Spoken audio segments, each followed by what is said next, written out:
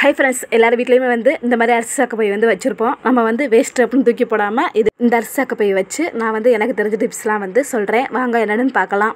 அரிசி சாக்குப்பையை வச்சு நான் வந்து பயன்படுத்தக்கூடிய டிப்ஸ் தான் வந்து உங்களுக்கு சொல்கிறேன் உங்களுக்கு பிடிச்சிருந்துச்சு அப்படின்னா நீங்கள் ஃபாலோ பண்ணிக்கோங்க.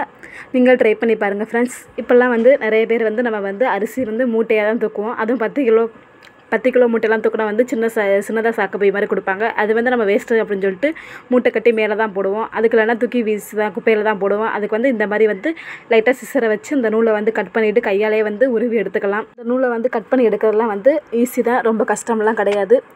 உரிச்சு எடுத்துட முடியாதான் எரிச்சு எடுத்ததுக்கப்புறம் வந்து சரிசமமாக வச்சு ஒன் சைடு மட்டும் வந்து கட் பண்ணி எடுத்துக்கணும். நான் வந்து கட் பண்ணி எடுத்துக்கிறேன். கட் பண்ணி எடுத்துகிட்டு எப்படி இருக்குன்னு வாங்க பார்க்கலாம். கட் பண்ணிட்டேன். கட் பண்ணதுக்கப்புறம் இந்த நம்மள தான் நீட்டமாக தான் இருக்குது இது வந்து நம்ம வந்து மாடியில் வந்து மிளகா மல்லி எதுவும் காய வைக்கிறோம் அப்படின்னா கொண்டு போய் தாராளமாக வந்து ரெண்டு சாக்கு வந்து விரிச்சு விடலாம்.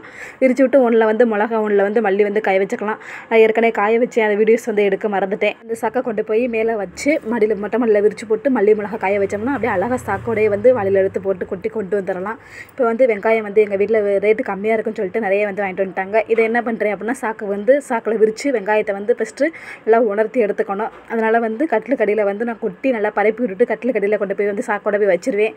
மறுநாளைக்கு வந்து எடுத்து தோல்லாம் வந்து இல்லாமல் கொஞ்சம் பெரிய பெரிய தோல்லாம் எடுத்து நம்ம வந்து இது மாதிரி செஞ்சு வச்சிட்டோம்னா வெங்காயம்லாம் அழுக்காமல் பாதுகாப்பாக எடுத்து வச்சுக்கலாம். நீங்கள் ட்ரை பண்ணி பாருங்கள் ஃப்ரெண்ட்ஸ் இன்னொரு சாக்கு எடுத்து நான் வந்து குட்டி குட்டியாக ஓரளவு கட் பண்ணி வச்சுருக்கேன். அளந்து கட் பண்ணி வச்சுருக்கேன். அது எதுக்கு அப்படின்னு வாங்க பார்க்கலாம் சொல்கிறேன் எனக்கு ஒரு சாக்கில் வந்து பெருசாக மூணு நாலு பீஸும் சின்னதாக ரெண்டு பீஸும் கிடச்சிச்சு. அது எது எதுக்கு யூஸ் பண்ணுறேன்னு வாங்க பார்க்கலாம்.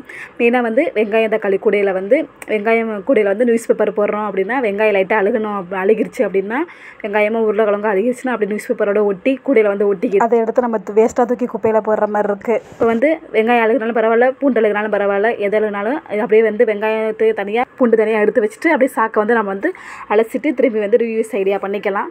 நீங்களும் இந்த மாதிரி வந்து ட்ரை பண்ணி பாருங்கள் இந்த ஐடியா பிடிச்சிருந்தா லைக் பண்ணிடுங்க அடுத்து வந்து பெரிய சாக்கு வந்து எங்கள் வீட்டில் இருந்துச்சு. அந்த சாக்கையை வந்து கட் பண்ணி வந்து எடுத்து வச்சுட்டேன். எதுக்கு அப்படின்னா காய்கறிலாம் வந்து வாங்கிட்டு வந்தோம் அப்படின்னா தரையில் கொட்டுறோம். அப்போ நான் வந்து எல்லாத்தையும் எடுத்து வச்சக்கப்புறம் வந்து மண் வந்து இருக்கும்.